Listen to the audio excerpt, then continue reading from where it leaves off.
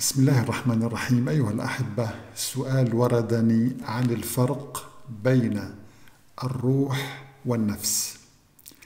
الحقيقة كثير من الناس يخلط بين حقيقة الروح وحقيقة النفس مع العلم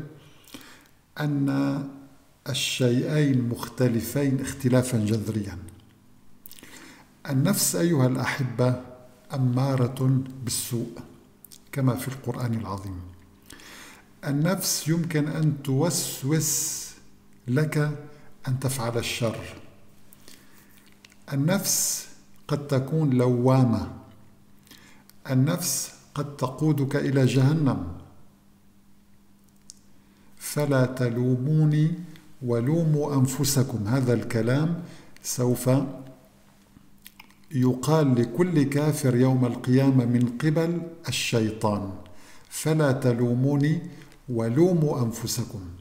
عندما يتبرأ الشيطان ممن وسوس إليهم يقول لهم فلا تلوموني ولوموا أنفسكم إذا النفس هي التي ستلام يوم القيامة ولكن بنفس الوقت هناك نفس مطمئنة يا أيتها النفس المطمئنة ارجعي إلى ربك راضية مرضية فادخلي في عبادي وادخلي جنتي إذا أيها الأحبة النفس تأمر بالشر أو بالخير النفس قد تقودك إلى الجنة أو إلى النار والعياذ بالله النفس قد توردك المهالك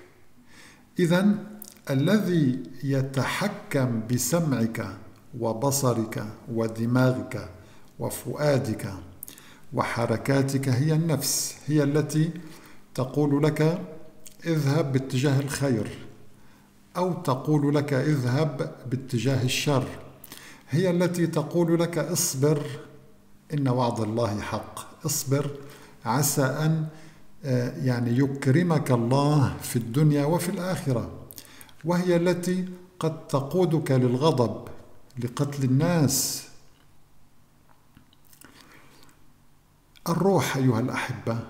مفهوم مختلف كليا جذريا ليس له علاقة لا من قريب ولا من بعيد بالنفس دائما ذكر الروح في القرآن يأتي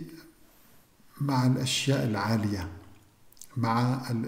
ليس هناك روح شريرة أولا كما في بعض الكتب المقدسة المحرفة ليس هناك روح خبيثة كما نعتقد ليس هناك أرواح شريرة كله كله كلام هذا عبارة عن أساطير الروح هي من أمر الله رقم واحد ويسألونك عن الروح قل الروح من أمر ربي تنزل الملائكة والروح فيها بإذن ربهم من كل أمر يقال إن الروح هو ملك ويقال هو القرآن لأن الله تعالى يقول وكذلك الخطاب للنبي عليه الصلاة والسلام وكذلك أوحينا إليك روحا من أمرنا سبحان الله الروح أيها الأحبة شيء مقدس شيء من صفات الله عز وجل وإذ قال ربك للملائكة إني خالق بشرا من طين فإذا سويته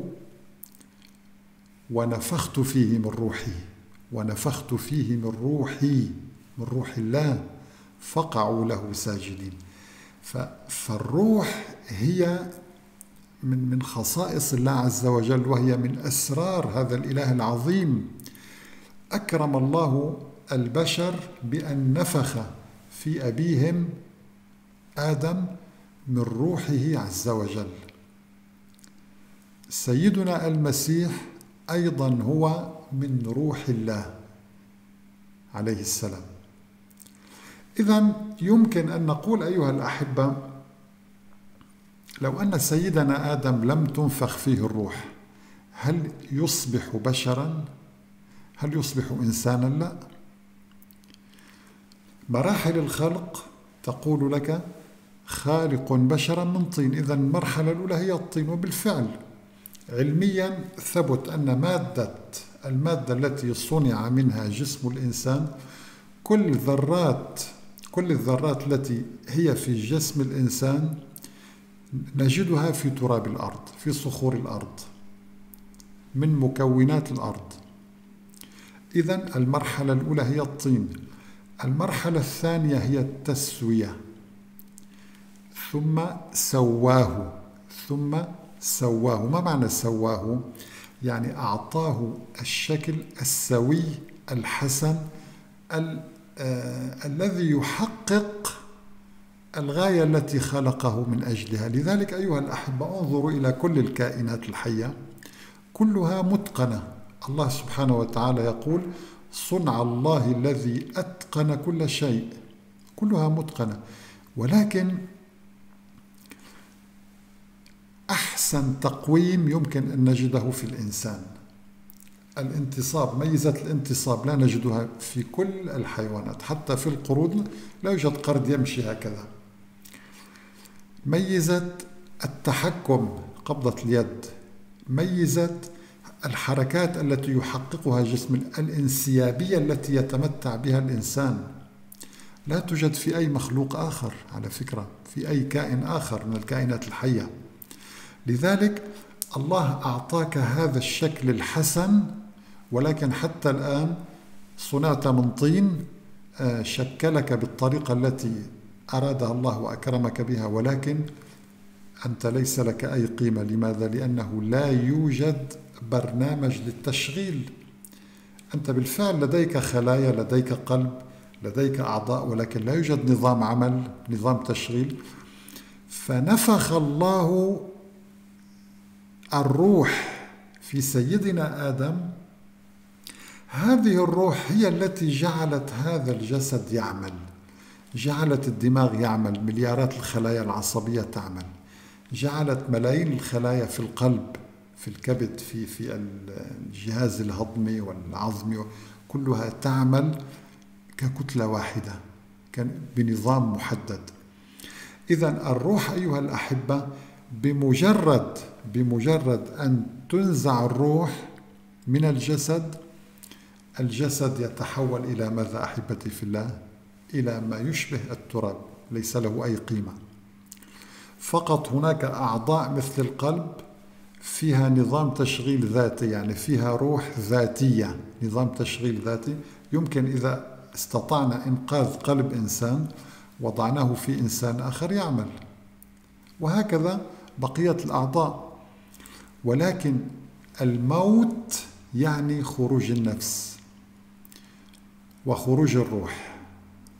النفس قد تخرج أيها الأحبة أثناء النوم ولكن يبقى الإنسان يعمل يبقى حياً قد يصاب الإنسان بغيبوبة عندما يعطى حقنة من مثلا مخدر من أجل عملية جراحية النفس تغادر وأثبت العلماء أن نفس الإنسان تغادر وترى الأطباء وهم يجرون له العملية ولكن هذه النفس لا تغادر بشكل نهائي إلا عندما تذوق الموت لذلك الله تبارك وتعالى يقول كل نفس ذائقة الموت كل نفس ذائقة الموت ولكن الروح لا تموت لأنها من أمر الله ويسألونك عن الروح قل الروح من أمر ربي وما أوتيتم من العلم إلا قليلا إذا خلاصة هذا السؤال أيها الأحبة أن النفس كائن مادي موجود نحن لا نراه ولكن نتائجه موجودة نستطيع أن نشعر به من خلال قدرتنا على اتخاذ القرار أنت تستطيع أن تتخذ قرار باتجاه شرب الخمر أو آه، باتجاه الصلاة مثلا باتجاه أن, أن, أن تنظر إلى الفاحشة أو أن تجلس وتقرأ القرآن قدرتك على قدرتك على اتخاذ القرار هي دليل على وجود النفس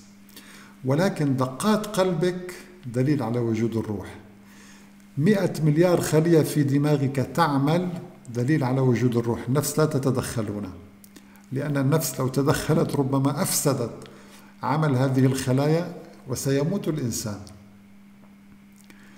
إذا أيها الأحبة الروح هي برنامج التشغيل وهي شيء مقدس طاهر من أمر الله سبحانه وتعالى النفس يمكن أن تكون خبيثة أو تكون طيبة ومطمئنة وأخيرا أيها الأحبة أسأل الله سبحانه وتعالى أن نكون جميعا من الذين قال الله تبارك وتعالى فيهم يا أيتها النفس المطمئنة ارجعي إلى ربك راضية مرضية فادخلي في عبادي وادخلي جنتي والسلام عليكم ورحمة الله تعالى وبركاته